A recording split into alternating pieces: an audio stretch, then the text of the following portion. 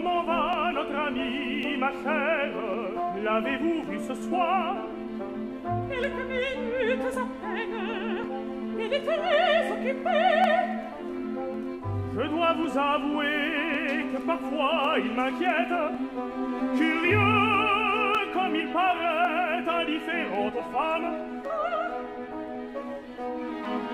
je n'avais rien remarqué de tel, il ne manque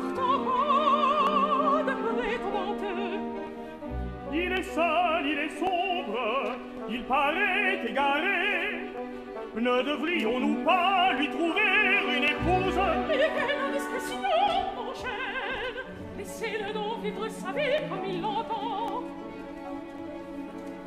Ce n'est pas, voyez-vous, mon unique souci.